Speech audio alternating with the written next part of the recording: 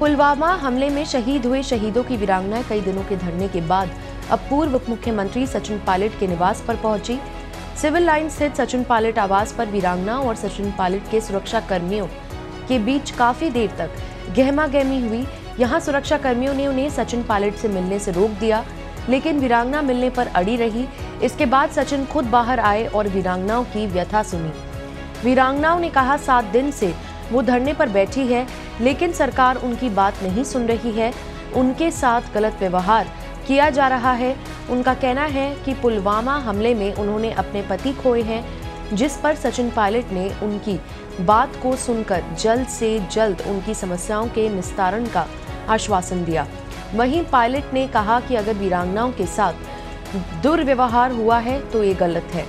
जिन लोगों ने ऐसा कृत्य किया है, उनके खिलाफ कड़ी कार्रवाई होगी, करेंगे।